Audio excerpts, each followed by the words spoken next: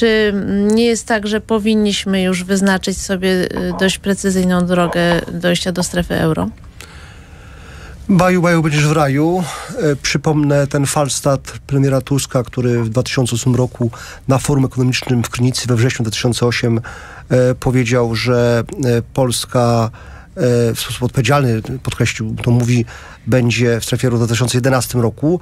Potem to przesunął na 2012, potem to przesunął na Chyba tak, niech pan 2013. porzuci Tuska, bo problem polega na tym, że PiS blokuje zmiany w Konstytucji, które Ale- uniemoż... ale uniemożliwiają pani, nam ja wejście do przypomnę- strefy euro. Jakże ciężko Przypomnę- jest porzucić Tuska. E, nie, przypomnę panu marszałkowi, że był taki ktoś, kto nazywał się Jacek Rostowski, pan pewnie go kojarzy jeszcze, Mm, pewnie go czasem s- y, na wspólnych korytarzach Sejmu Senatu spotyka. Otóż on mówił y, w wywiadzie dla e, e, dziennikarzy, pani ich zna, braci Karnowskich, e, że e, Polska nie wejdzie wcześniej do e, strefy euro niż w roku 2020. Taką datę podał. E, Wczoraj słyszałem wypowiedź ministra finansów, e, pana Mateusza Szczurka, który mówił, streszczając jego wypowiedź, nie spieszmy się z tą strefą euro.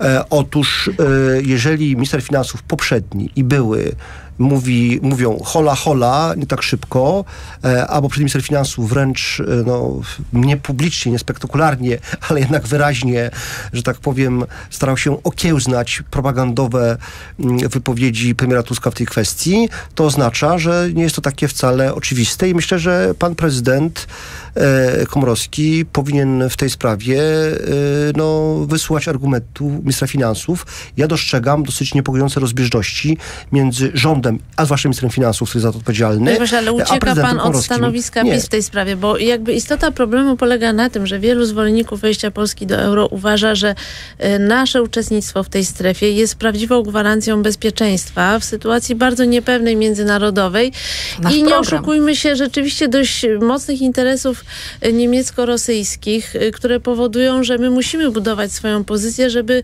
trochę przeciwdziałać tym, tym, tym więziom niemiecko-rosyjskim. I to nam daje uczestnictwo w strefie euro. Natomiast PiS cały czas blokuje drogę, nie zgadzając się na zmiany w Ale konstytucji Po pierwsze, jak pani mówi o blokowaniu y, więzów niemiecko-rosyjskich, to się bardzo cieszę, bo Jarosław Kaczyński mówi o tym od lat. E, Natomiast Tylko, że proponuje, konkretnie- y, Nie, ale konkretnie, znaczy zostawmy kwestię papierowych modeli. Jeżeli minister finansów mówi grzecznie, ale stanowczo nie, i poprzedni, i obecny, no to niech prezydent Komorowski, że tak powiem, powie halo tu ziemia i jednak na tą ziemię wróci.